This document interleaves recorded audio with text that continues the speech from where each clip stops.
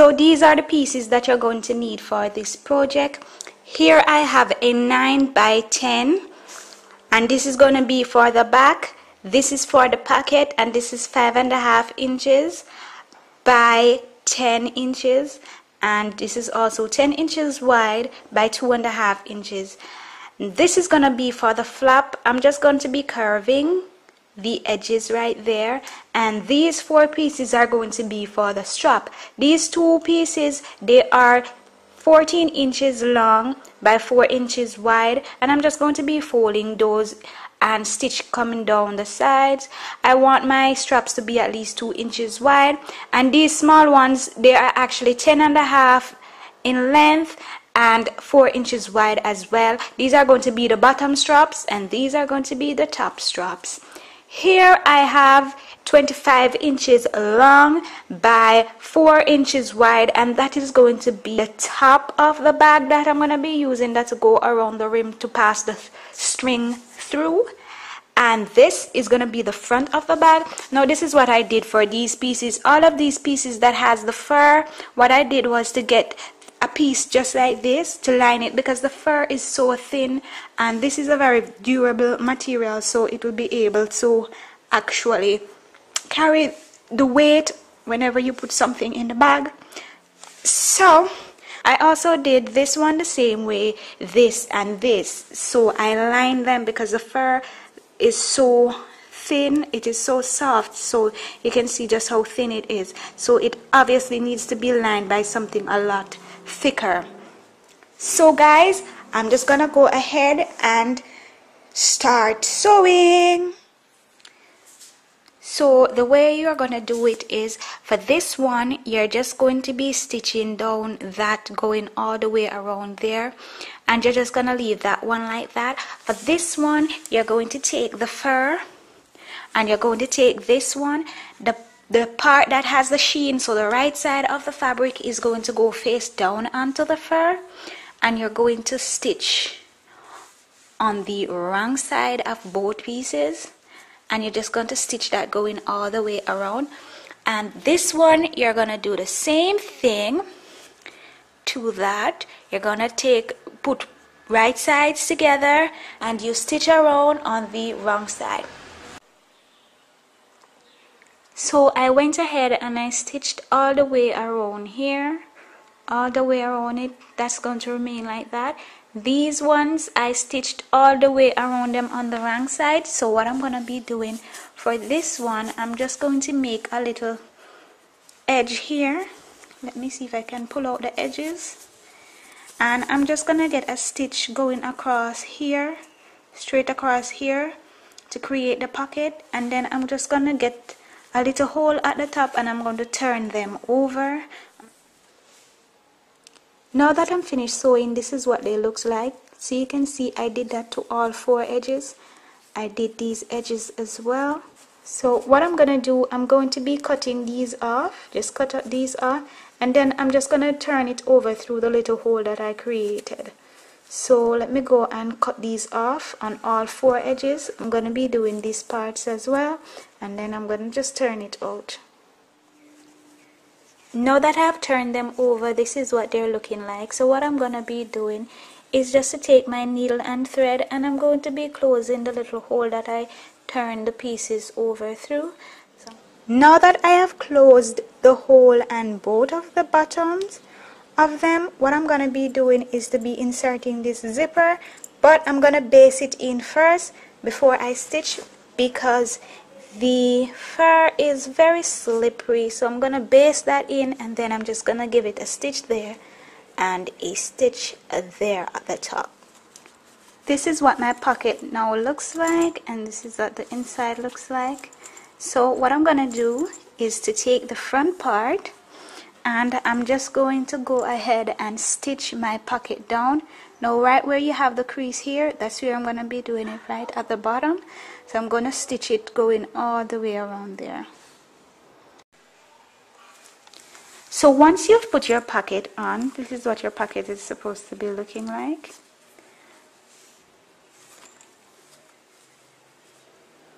New zipper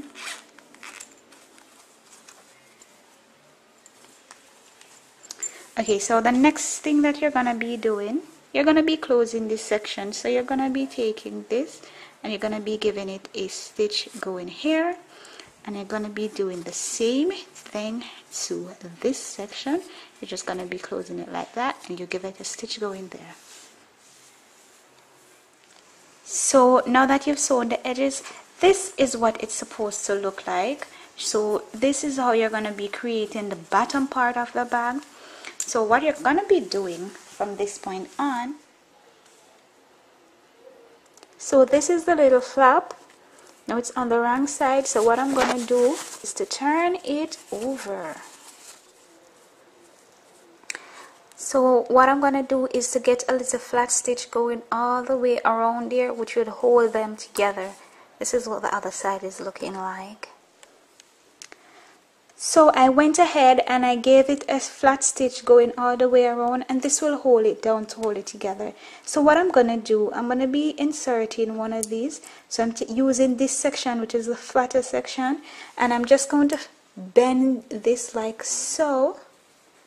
I'm going to be finding the center of that and I'm going to take it to about two inches and I'm going to be inserting it on this layer. So I'm just going to be doing this part. Um, these little parts that come they're going to be going on the inside. And this is to anchor this so it doesn't pull through. These little springs don't pull through.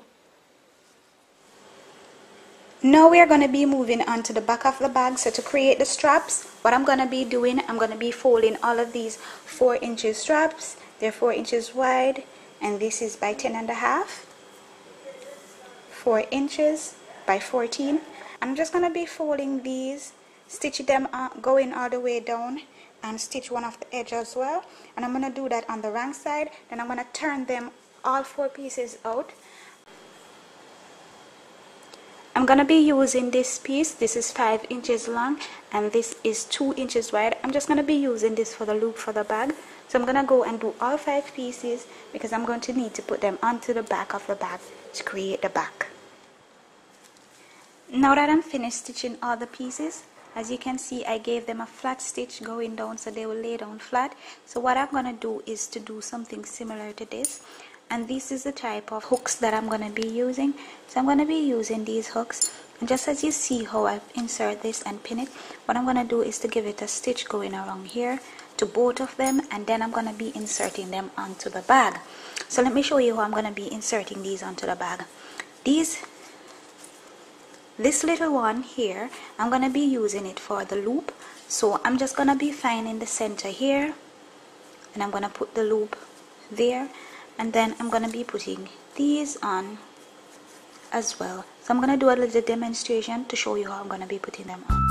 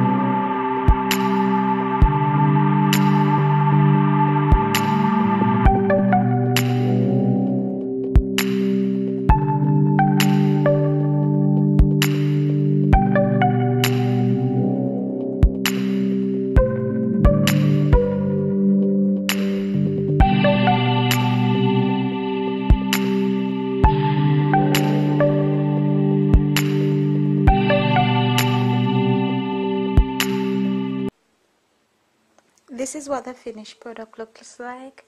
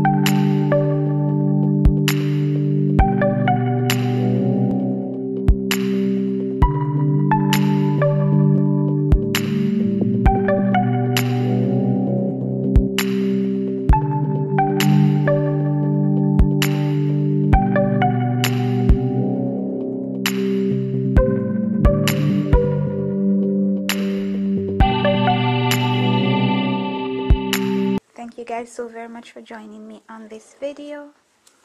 I'll see you guys on another video and don't forget to check out the link in the description box to my other channel.